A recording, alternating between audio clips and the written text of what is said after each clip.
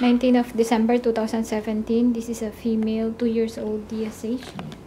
Now, the owner brings it here. The main complaint is not vaginal discharge. Yeah. Uh, eating or not eating? Uh, eating, she's eating. Eating and drinking. Huh? Yeah, eating one. Now you can see this cat. There's no bad breath compared to the other cat. See, no bad breath. So this is a normal mouth, and there's no gingivitis. If you see the other cat, the gums here are red. Huh? The gingiva. There you see. You can take a photo. Click, click there will do it. I open up the mouth. The tongue is okay. See the color. The cat, the tongue is reddish. Yeah. And okay, so the main complaint is actually the vaginal discharge. This cat has not been sterilized. Does it make a lot of noise every every two weeks, three weeks? Uh, every two months. Every two months it cater caterwauls. Uh. Hmm. So you can see the dirt, the, the discharge, the stain here. And uh, so it dirty the, the tail area so these are the discharge. Like there's some tissue. And you can see the discharge is uh, how long already this discharge?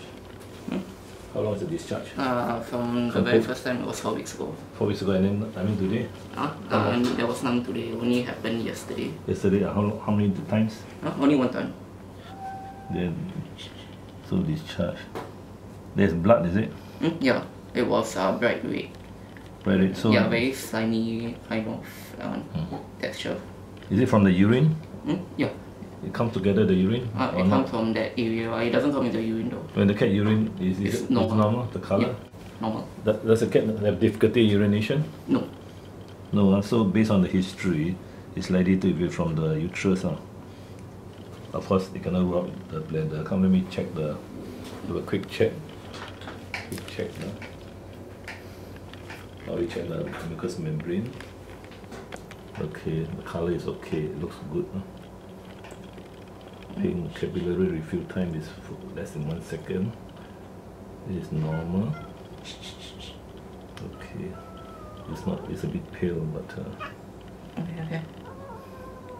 it's eating well, right? Yeah. Let's have a quick check on the heart and lungs. Heart is okay. Respi- no respiratory sounds, huh? no coughing, sneezing. No. Lungs are normal, yeah. Then I just do a quick abdominal palpation. Understand normally. Yeah. Check for kidney, liver. Uh, normally you can't feel the kidney unless it's enlarged. This one you feel the kidney, the left kidney. Is it painful or not? See the reaction? No, not painful, but there's some movement here. Nothing inside. Bladder is okay. Now I've I checked the uterus. Huh?